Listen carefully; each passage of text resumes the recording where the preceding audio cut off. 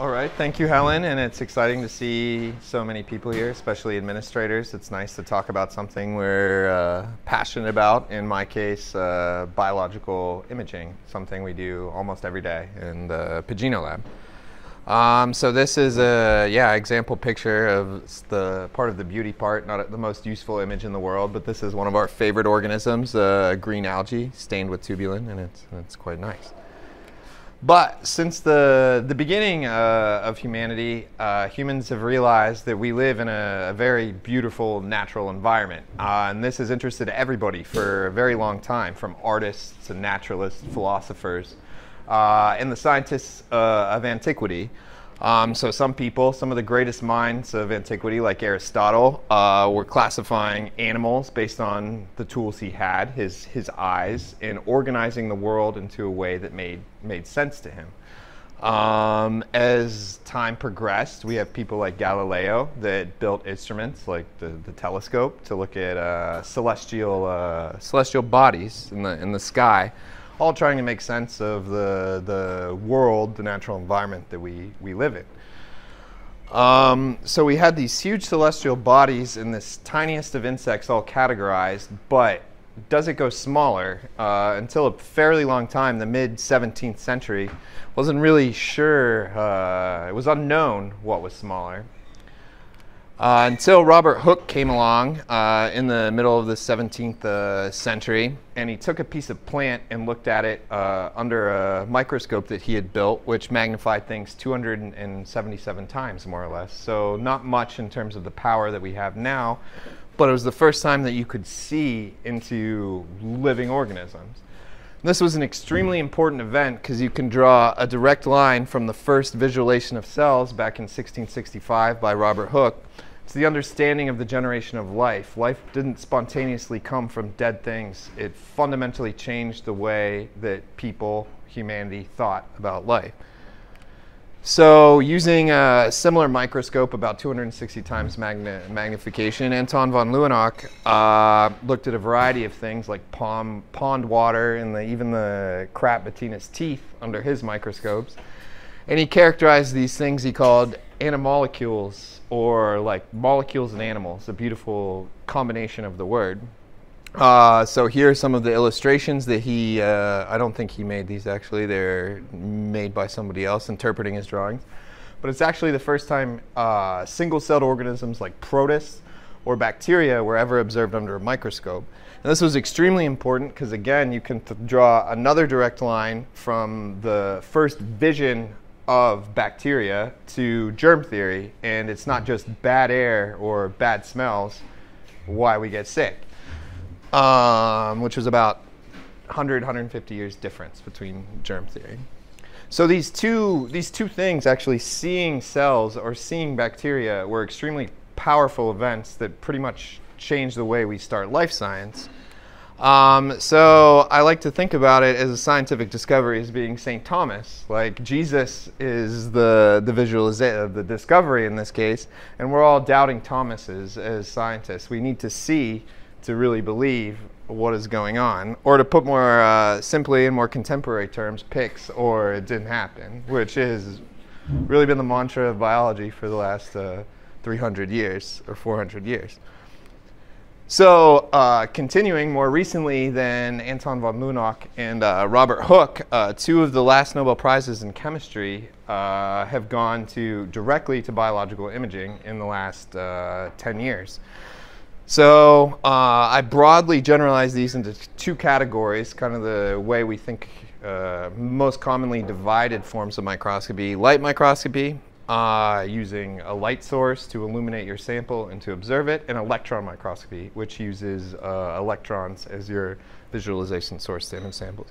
You can see from early microscopes, something we all had in high school, to a Nikon storm microscope to the left, these microscopes have, have really uh, gained in complexity and are now uh, extremely powerful devices that don't even look like microscopes. And if the two people that first started using them, Leeuwenhoek, then Leeuwenhoek and Hooke saw them, they would not even believe that they were they were microscopes, probably.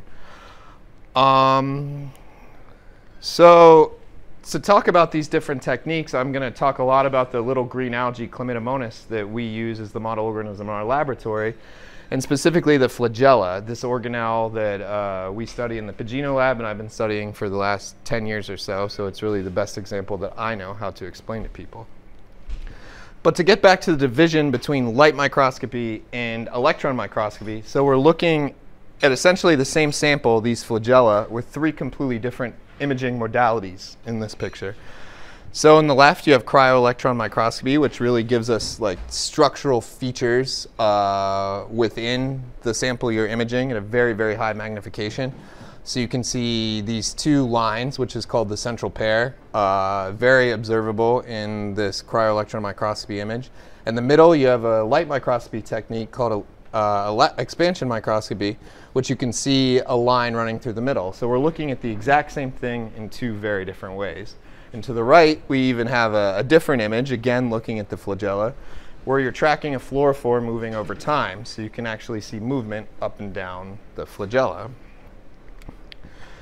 So to go into light microscopy, um, light microscopy has its advantages uh, because you can label live cells with color uh, and you don't have to kill them or dehydrate them like you do in electron microscopy.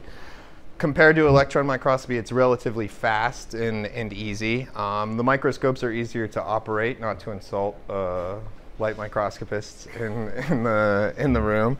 And you can really track specific components within the cell.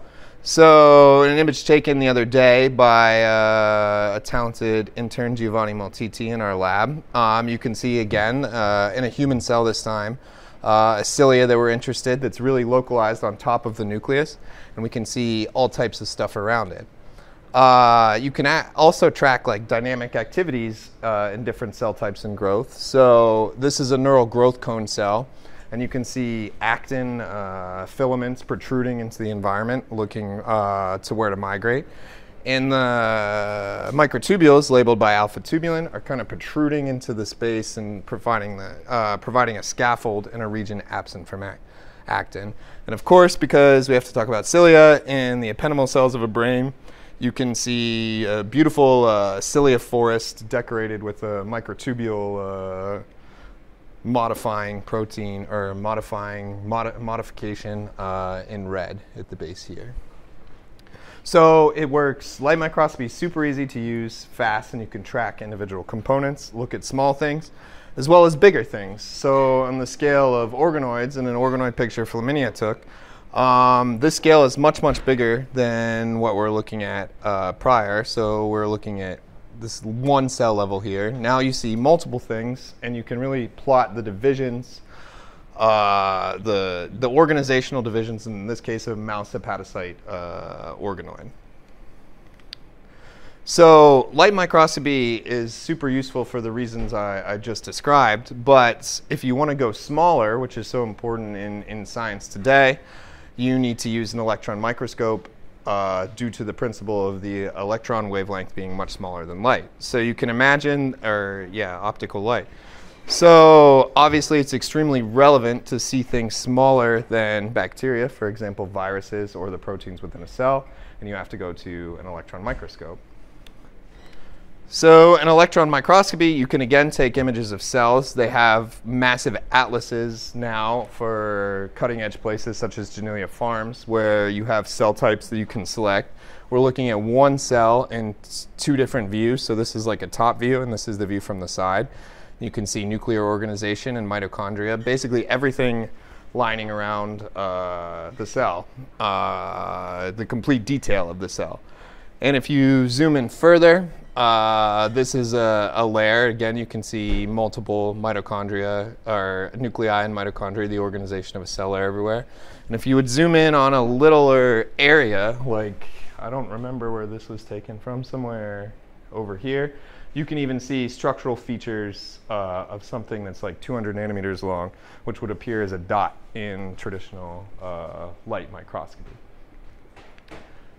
So again, going back to our favorite organism, chlamine, to highlight the differences in resolution between uh, light microscopy and electron microscopy.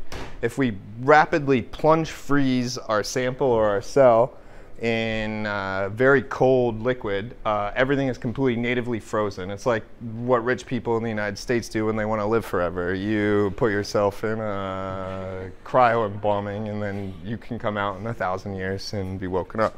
It's the same thing with when you plunge freeze a cell or a sample into liquid ethane. So if we zoom in on this region here, which would not be possible with conventional light microscopy, we can zoom in 42,000 times and see this picture of uh, the base of the, the centriole, which, or the base of the flagella, which you see just by one little dot in this light microscopy picture. Then if you take many images of one thing and combine them in the orientations and do some computational processing, not to insult the computational he people here, which is also a huge element in any microscopy now, you can put together these beautiful models and really help you understand what you're, you're looking at. So by averaging here, you can see nine little rings, which gives you insights onto how these nine microtubule doublets are formed. These appendages look like arms that are useful to grab things. Um, so seeing very much is believing in this context, that you, anytime you can directly observe something at this level of detail, it helps you interpret what its biological function might be. So you can combine these image modalities if we go back to the basal body and we see these global structural elements um, in, as we saw here. Uh, you can see the, the skeleton of the basal body, the base of the flagellum. You can see little things hanging off of the side. And if you combine this with light microscopy on two approaches, which is super good at identifying which proteins are where, you can get an image where you understand the, the protein composition of, of these structures. So in pink here, we have tubulin, which we know is the cytoskeletal component and kind of a, a reference map compared to our our uh, electron microscopy, or yeah, electron microscopy. In the green, we have a protein that is forming these little uh, lines, which are kind of hard to see in an untrained eye, but trust me, there's a little trainy, stringy train there. Um, so we can start to map protein composition to structures, global structures we see in uh, light microscopy. So uh, in summary now, um, I'm sorry uh, the lack of not giving. It's a very, very deep subject, uh, and I didn't even get into things like single particle uh, electron microscopy, where rather than looking at global massive structures like this, you look at even proteins and see what they're binding to and what they're touching, or more simpler tissue light microscopy. But at least the images were very nice, and I hope to convince you that imaging, there's a aesthetic, beautiful aspect to performing microscopy, as well as a highly functional thing that allows us to really process in our minds what we're seeing with what its biological function might be. So thank you. I'm finished.